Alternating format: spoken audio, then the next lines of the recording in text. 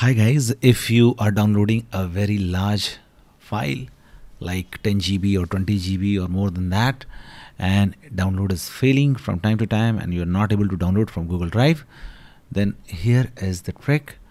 So what you need to do is to create an empty file on your desktop just empty txt file okay? And just upload that here okay once you have uploaded that empty.txt we will try to download them together okay? Now what happens that if it is a shared file you're not able to download then you can make a copy of it also and then do the same. So once you're sure just click on empty.txt and press ctrl from your keyboard and then press this so that these are together.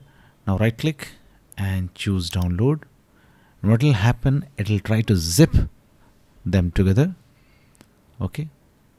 And once they are zipped they will be downloaded automatically on your computer without any issue. If this is not working you can try to change the browser also. You can use Firefox and try downloading it from there and see whether your issue gets resolved or not. Thanks for watching. Please don't forget to like and subscribe